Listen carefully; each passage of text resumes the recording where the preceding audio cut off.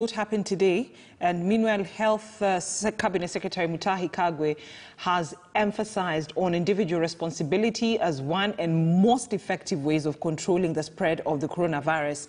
The CS also urged teachers to get vaccinated to avoid the spread of the infections within the learning institutions. He was speaking after meeting Tanzania Health Minister Dorothy Gwajima.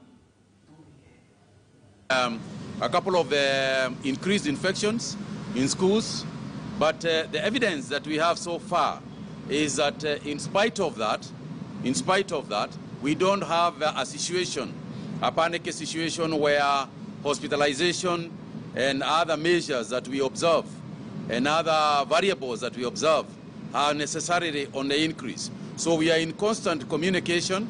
We have got a, a board that tells us on the hour what is happening in the entire school system. And of course, if we notice that um, anything is getting out of hand, then we have to take the necessary measures. But for now, as long as people can keep the measures that we have given, and especially this idea of all teachers being vaccinated, I have said, and I'll repeat, that the danger in schools is more to do with the teachers than to do with the students. Because essentially, when our, what we have observed is that the students are essentially asymptomatic. And the problem becomes when they pass it on to the teachers. So hopefully, the teachers will accept and agree that they all should be vaccinated. Workers in schools, workers in primary schools, secondary schools, and, and elsewhere should also be vaccinated.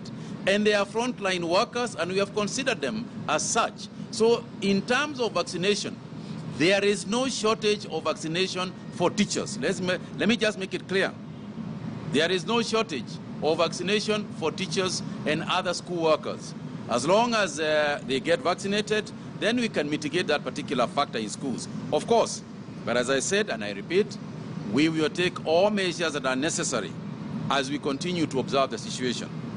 I also want to take this opportunity to say, yes, the infection rates in Kenya are now high.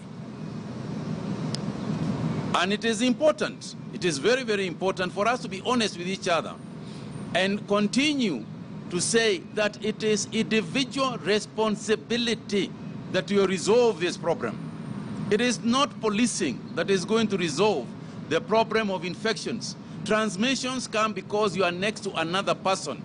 If you are on your own, if you stay on your own, if you work from home, as we have proposed, if you take the measures to protect yourself, you will not get infected. But if you go to a noisy pub, if you walk into a noisy pub where everybody is drunk, and you start hugging each other, and you hug even a stranger that you have never right, time for another break here on a KTN News Desk. I'll be right back with more news making the headlines, so keep it KTN News.